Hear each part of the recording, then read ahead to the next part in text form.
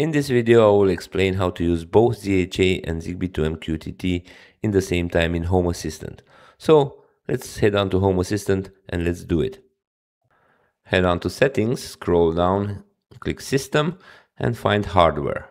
Click on Hardware and then click on All Hardware. In the search bar, just type serial and you'll find your existing ZHA coordinator. Make sure you copy this link. Then go to settings again, devices and services and find your ZHA integration. Click on ZHA and then you'll see your coordinator. Just click on settings and make sure you write down the channel number. This is important because you don't want it to be on the same channel with your uh, MQTT.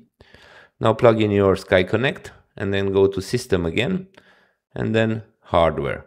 After you plugged it in, both should be in here. Click all hardware again serial and you'll see both of your uh, coordinators. Make sure you write the links. Then go to settings add-ons and then you need to search for another add-on. Search in the search bar Mosquitto. Just click on Mosquitto and then click install.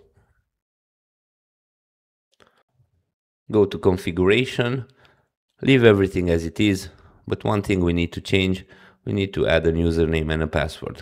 At logins, click add and choose a username and a password as you wish. Click add and then save.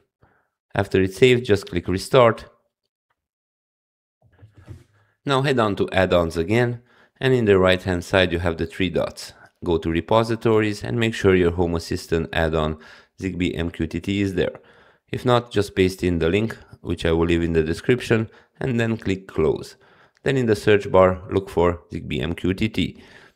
Click on the first option there, and then you just click install.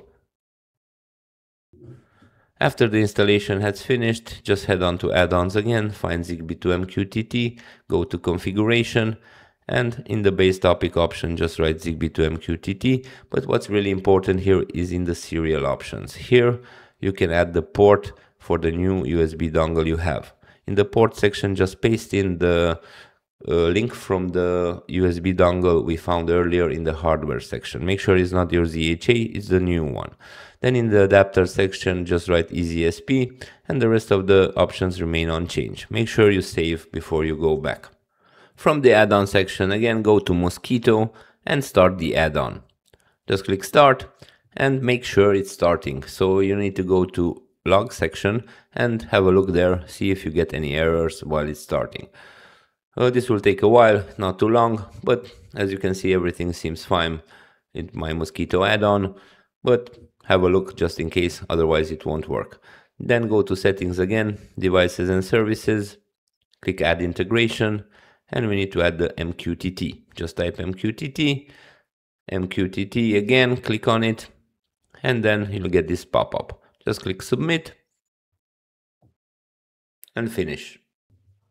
In the add-on section again, click Zigbee2MQTT, click configuration and go to the MQTT option. From here, scroll down and you'll find username and password. Fill this in with the username and password you set earlier in the Mosquitto add-on configuration. Then click save and then go back to info and then start the add-on. Again, check the log for errors. Then you open the web UI and a pop-up like this should appear and then you just click permit join and start pairing your devices. Now you have both Zigbee MQTT and ZHA running in Home Assistant both in the same time. In case something runs differently like in this video, please leave a comment in the comment section below and I will gladly help to fix that problem. Thank you for watching. Till next time, and please subscribe and like the video, that will help me a lot.